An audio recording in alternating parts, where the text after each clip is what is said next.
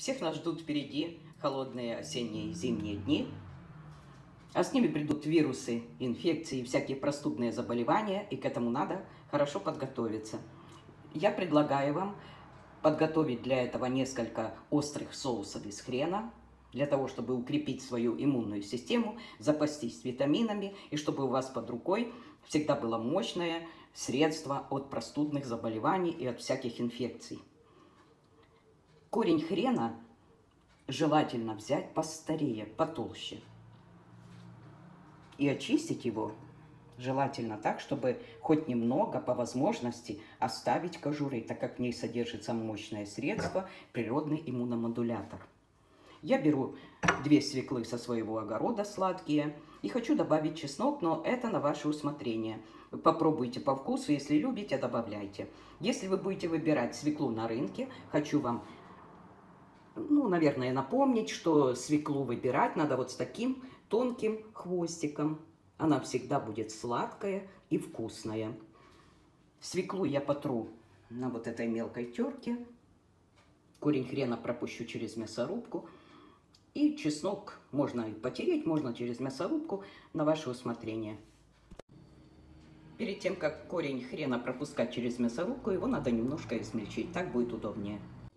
Вот так выглядит готовый хрен со свеклой. Я еще присолила морской солью, перебила на блендере еще для того, чтобы все-таки помельче было, так будет получше. Но можно было и сразу слаживать, смешать и слаживать в баночку было бы тоже очень хорошо. Свекла еще пустит свой сок. Кстати, я попробовала чеснок, абсолютно не слышно. Можно было больше добавлять, просто для полезности, для... но вкуса, я думаю, все равно не будет слышно, потому что хрен забивает все. Он также убьет все вирусы и инфекции, и мы ничем не заболеем. Перелаживать можно в баночку все и ставить в холодильник. Для этого рецепта я положила чеснока побольше. Вы смотрите на свое усмотрение, доводите до своего вкуса, пробуйте и добавляйте, чего вам побольше понравится. Так как я добавила чеснока побольше, я пропустила чеснок вместе с хреном через мясорубку. Если у вас нет блендера, пропустите чеснок и хрен через мясорубку дважды. Помидоры можно перебить сразу на блендере, но я протерла их на терку. И если у вас нет блендера, вы тоже так сделайте. Семечки я не отделяла, так как я считаю, в помидоре все полезно. И сейчас я соединю хрен, чеснок и помидоры вместе и перебью на блендере. Вот так выглядит хрен с чесноком и с помидорами. Присолите по вкусу, и соус готов. Попробуйте еще вот такой вариант. Здесь в стакане блендера хрен вместе с чесноком, пропущенный через мясорубку, подсоленный по вкусу морской солью.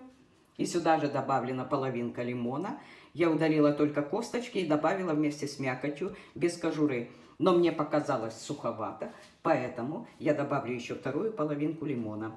Напомню, что если нет блендера, пропустите через мясорубку дважды, получится отлично. И здесь приблизительно чайная ложка меда, она тоже пойдет в этот соус. Так выглядит корень хрена с лимоном, чесноком и медом. Все три заготовки из корня хрена вкусны, а главное очень полезны. Если вы приготовите все три варианта, и они доживут у вас до зимы, вам будут не страшны никакие вирусы и соус из зеленых листьев хрена. Листья хрена здесь отделены от стеблей. Вот так стебли остались, листики мы отделили. Стебли тоже полезны, конечно, но все же соус будет приятнее без стеблей, без волокон.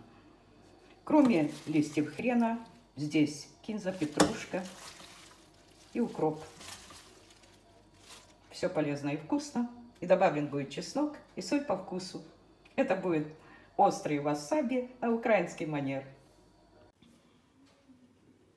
Все надо перебить на блендере. И острый соус из зеленых листьев хрена, ароматных трав и чеснока подсолен по вкусу и готов к употреблению.